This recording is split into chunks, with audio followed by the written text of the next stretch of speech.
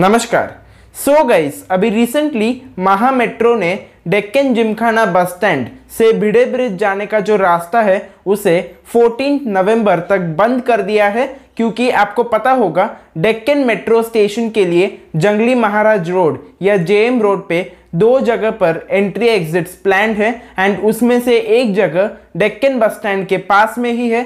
सो Deccan bus stand के पास जो entry exit है, उसे मेट्रो स्टेशन से जोड़ने के लिए अब यहाँ पे पेडिस्ट्रियन ब्रिज की ज़रूरत है एंड उस पेडिस्ट्रियन ब्रिज पे आखिरकार काम शुरू हो चुका है जिसके लिए ये रास्ता बंद कर दिया गया है।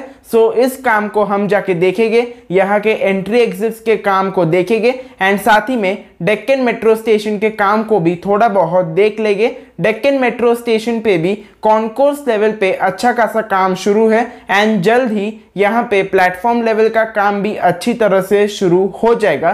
सो so, बिना किसी देरी किए आज का ये वाला एपिसोड शुरू करते हैं।